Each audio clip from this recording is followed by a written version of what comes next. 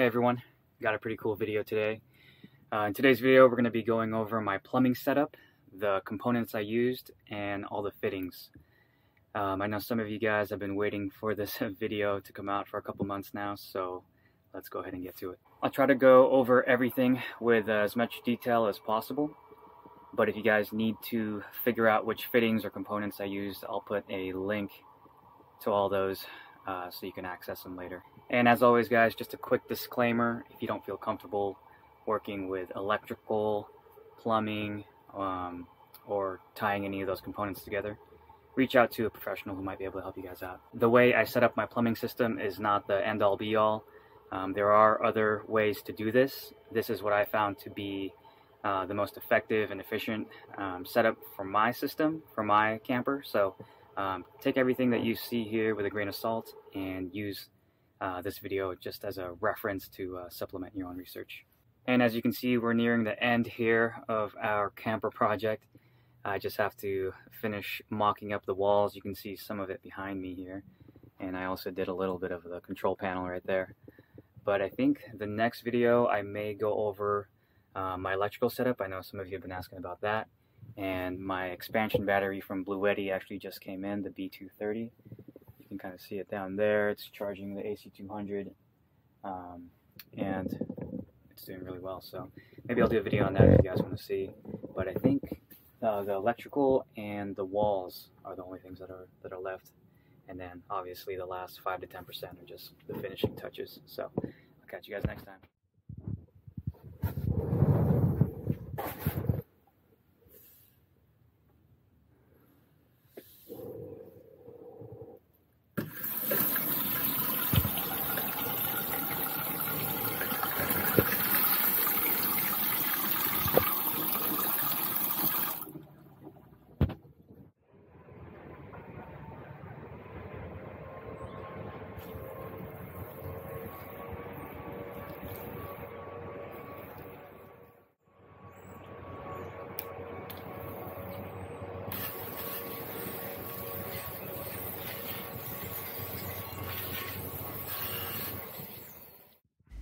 Here's a quick flyover over the entire system. You can see I thoughtfully laid out all of the components so that one, it'll be easy to service if I need to, and then two, the components are spaced out in a way so that the tubing attaches to each component really naturally without any kinks or bends and allows for the system to be uh, very clean and aesthetically pleasing. The tubing I used was a combination of PEX pipe, that's the red and blue piping, and ID tubing, which is the clear tube that you see uh, near the back of the water tank. I'd say the majority of my fittings are sharp SharkBite fittings and valves. Uh, these are great because they're really easy to use and you can find them at Lowe's or Home Depot really easily. And also they don't leak and they carry a very long warranty. Starting from the back here, I have three penetrations through the back panel, the hot and cold connections for the shower mixing valve, the city connection or the water city water inlet connection that fills up my water tank. At the bottom I have my drain valve if I ever want to quickly service the tank. And then on the top I have a connection for the KUS water meter gauge. On the back I have the pickup for the water pump with ID tubing connected to a strainer which is connected to the Shurflo pump Using ID tubing, I've connected this to an accumulator tank, which basically regulates the pressure of the water. From there, I have it connected to a shutoff valve before it transitions to a SharkBite fitting and makes its way either to the shower or into the hot water, uh, Insta hot water heater tank. As the water enters the heater and fills up, this will allow me to uh, pick up hot water if I ever want to use that for the rear shower. Or I can tee it off with a shutoff valve and mix it towards the faucet in the front of the camper.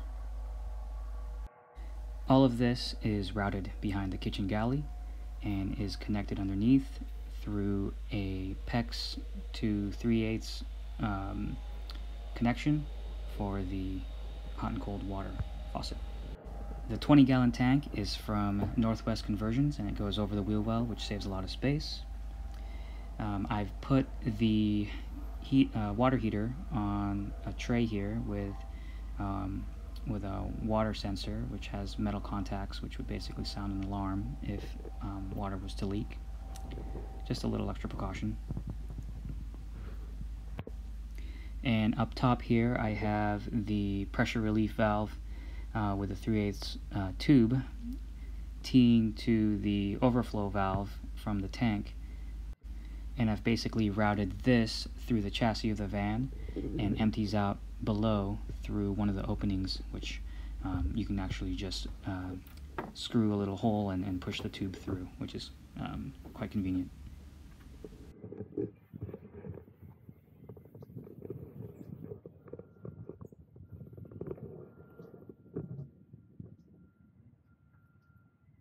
Here you can see how quiet this short flow valve is.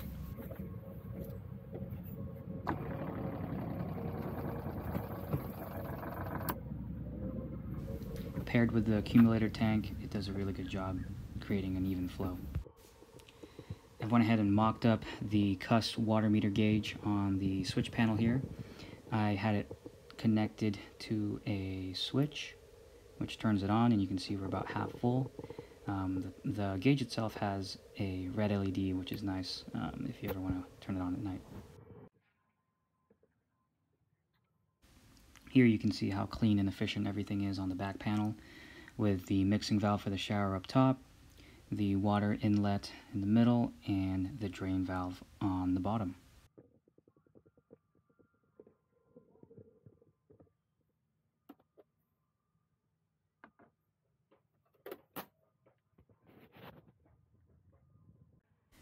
For the city water inlet, you will have to use a dedicated hose fitting in order to fill your water tank.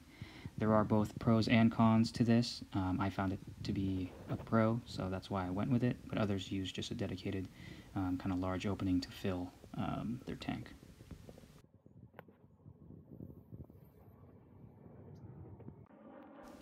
The spray nozzle that came with the shower mixing valve is a press fit connection you basically take uh, this connection here and push it into the opening and give it a little twist which locks it into place and doesn't actually leak which actually surprised me. I was definitely surprised with how much pressure came out of this nozzle. You could definitely wash your mountain bike or your car with this thing.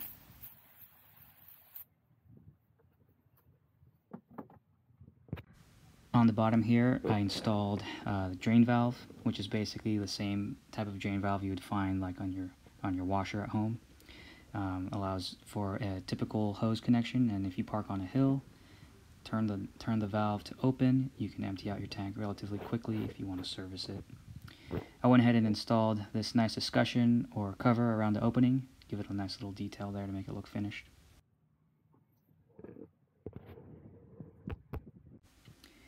I do recommend installing a proprietary button or on-off switch for your for your pump.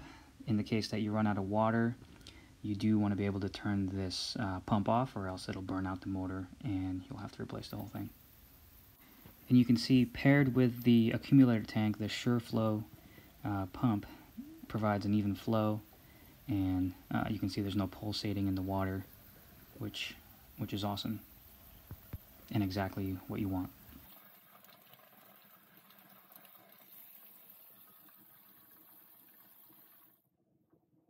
And just underneath the sink, you can see the 5 gallon gray water tank doing its job. You can see the water level should you ever need to empty it out. I made a separate video on this installation if you want to check it out. Let's go over the tank connections. The tank has two 1.5 inch NTP ports and two half inch NTP ports. I used Blue Monster thread tape on all of my connections and fittings that attach to the Northwest Conversions tank. For the 1.5 inch openings, I used a 1.5 inch adapter and a half inch elbow, you see here. All of this threaded together with the Blue Monster tape. I went and wrapped the Blue Monster tape about three to four times around each of the fittings. The formal name for this fitting is a half inch barb to a half inch MIP.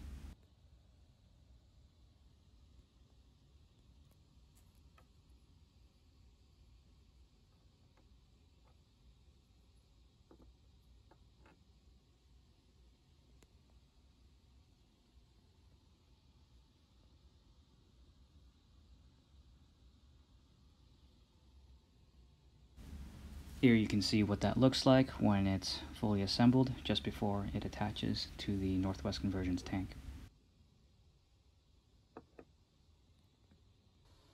Be sure to keep in mind the orientation of the inlet or outlet for each fitting, keeping in mind the direction of the tubing you're going to be routing in the cabinet area.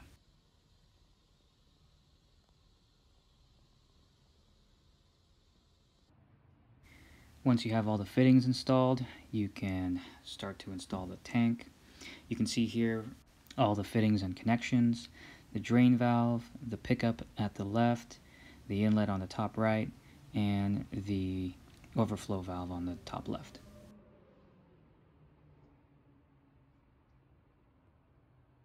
You can see with two connections on the bottom and two connections on the top, there are several ways for how you can set this up with the way I did it, I think it's very efficient and clean. And if you ever need to service the system, it's very logical and you can identify where the issue is and address it accordingly.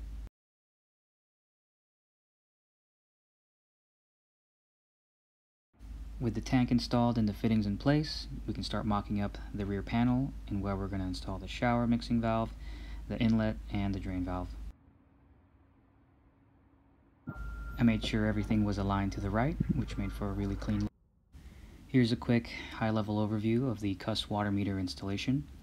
You're going to need a one and a half inch hole saw to drill out this opening on top of the tank.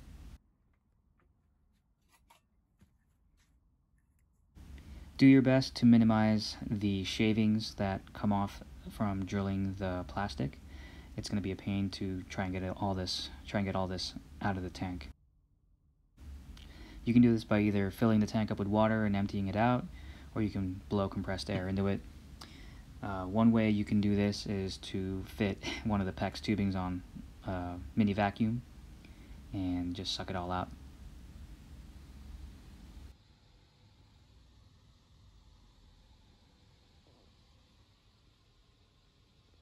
Here's what that looks like when it's completely installed. The unit itself only requires a 12 volt connection so you can wire it up just like all your lights and switches, which is very simple and easy. And here's a quick shot of the mixing valve connection to the PEX tubing. This one also has a dedicated valve. Should you ever need to service it, you can shut it off.